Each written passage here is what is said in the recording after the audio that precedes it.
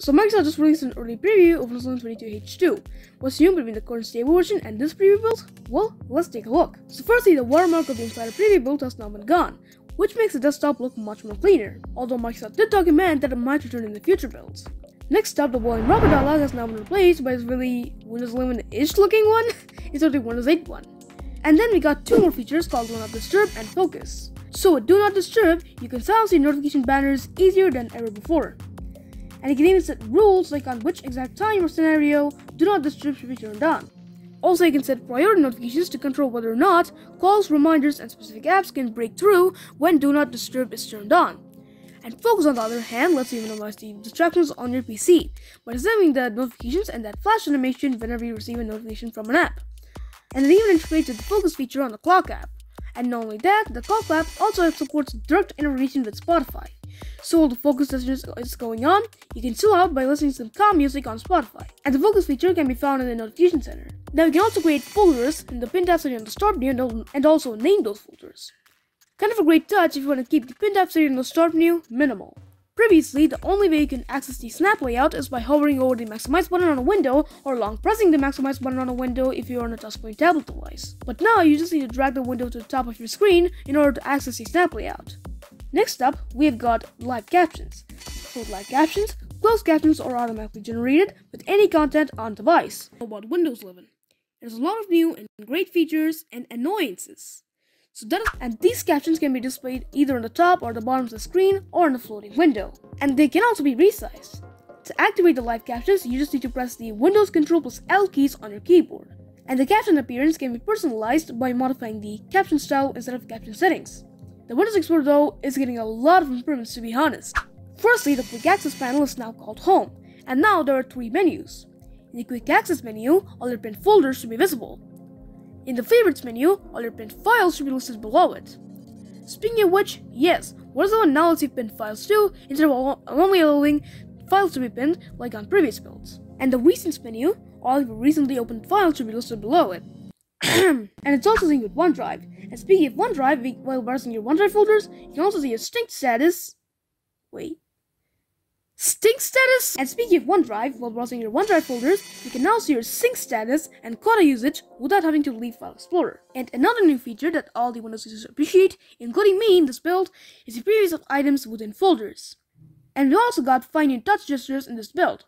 But unfortunately, I can't showcase it to you guys because I don't have a tablet device and Microsoft has also become more strict with its power consumption settings. Now the sleep and screen off timers are set to 15 minutes instead of 20 like before, and power saving recommendations are also provided when you set the screen off and sleep timer to never. And the task manager is also improved. So Microsoft has updated the design, la- design language of the task manager to match with the new design language of Windows 11. So this includes a new hamburger menu and a new settings page. And it even syncs with your device theme and changes the theme accordingly.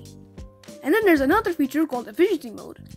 So this feature is helpful when you notice an app consuming really high resources and like to limit its consumption so that the system gives priority to other apps, which will lead to for- faster foreground performance and better energy efficiency.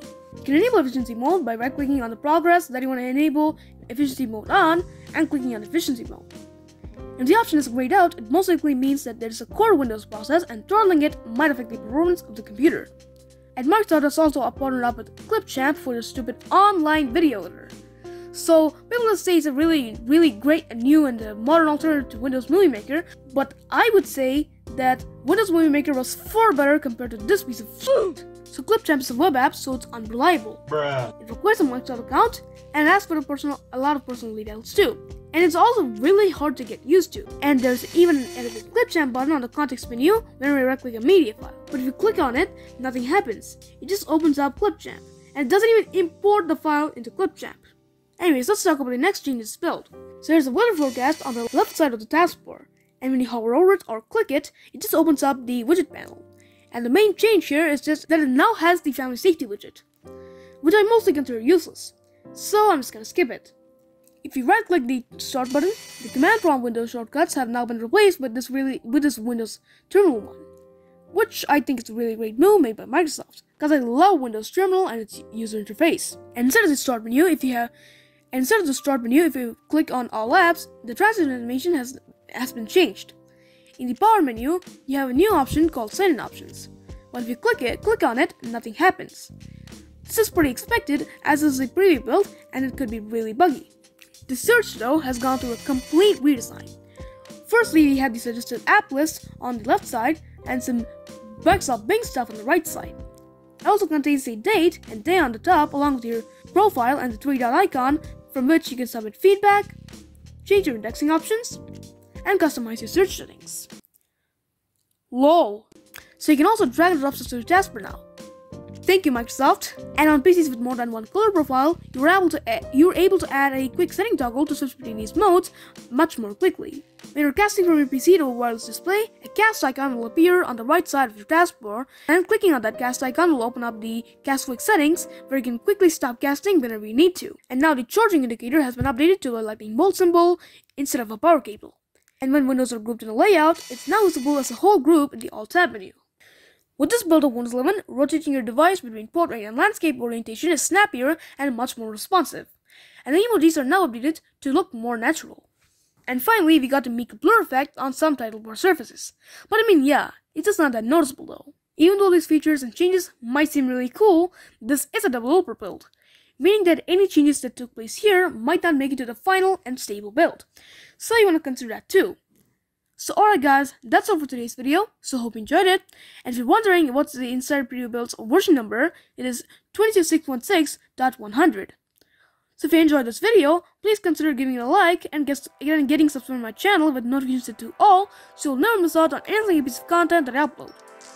And also if you have any queries or any ideas for future uploading videos, please leave a comment down below. To be honest, it would be really helpful for me. So, thanks for watching, and I'll see you guys all in the next video. Goodbye!